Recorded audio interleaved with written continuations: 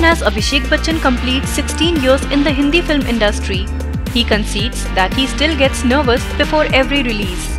As he gears up for Housefull 3 to open in cinemas, he admits that even after all these years, he still gets butterflies.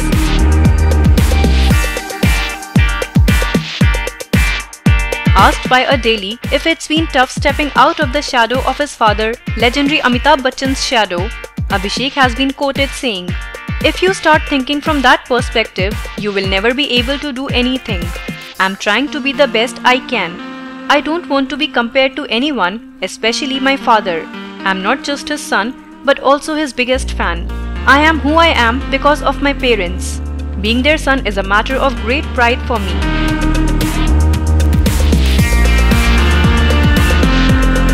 As for people being harsh on him because of his lineage, Bachchan Jr. reportedly countered.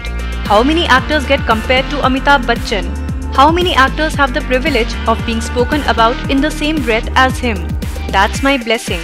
If anyone feels I'm worthy of being compared to him, then I'm doing something right.